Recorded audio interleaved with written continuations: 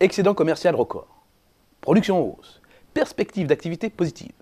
Non, il ne s'agit pas de l'industrie automobile allemande, mais bel et bien des industries agroalimentaires en France, les IA. Un pôle d'excellence dont les performances détonnent dans la grisaille actuelle. Jugez plutôt. Quand le déficit extérieur de la France peine à décoller franchement du plancher des 70 milliards d'euros, celui des IA crève le plafond des 8 milliards d'euros d'excédent. C'est sans aucun doute un motif de satisfaction. Mais ce n'est pas tout. La production ne cesse d'augmenter. Et là aussi, les IA se distinguent comme le montre l'évolution des niveaux d'activité. Toujours pas remise du choc de 2008-2009, la production de l'industrie manufacturière était encore en octobre inférieure de plus de 16% à son niveau d'avant-crise. De leur côté, les IA se plaçaient environ 2% au-dessus de leur dernier pic. Et les professionnels des industries agroalimentaires envisagent l'avenir avec une certaine sérénité, vu le niveau de leur carnet de commandes. Des carnets de commandes bien étoffés, comme vous pouvez le voir, et même légèrement supérieurs à leur moyenne d'après les chefs d'entreprise.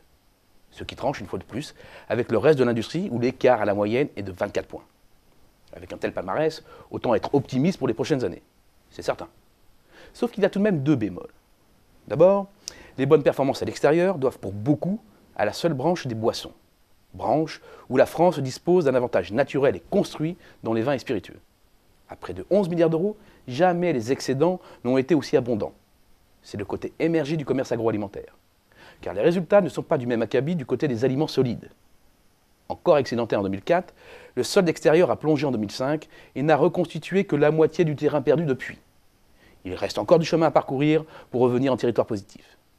Second bémol, les marges. Des marges trop faibles pour investir et rester compétitif et défendre ses positions sur le marché domestique. Des marges trop minces pour être offensif sur les marchés extérieurs. Des marges trop étroites pour rester totalement optimiste pour les années à venir. Et comme le montre ce graphique, si des baisses des taux de marge est la règle dans l'industrie, c'est dans les industries agroalimentaires qu'elle a été la plus brutale. Les pressions de la grande distribution alimentaire sur les tarifs sont bien sûr passées par là. Alors oui, la croissance est en rendez-vous pour les IA, et les IA sont un enjeu stratégique pour la France. Mais la citadelle est assiégée.